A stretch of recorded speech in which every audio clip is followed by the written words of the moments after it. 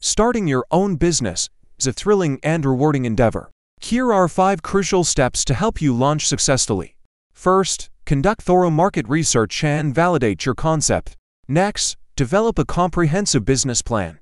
Then, decide on your business's legal structure and complete any necessary registrations.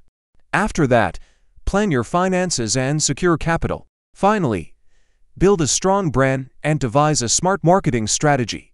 Follow these steps to turn your business idea into a successful reality.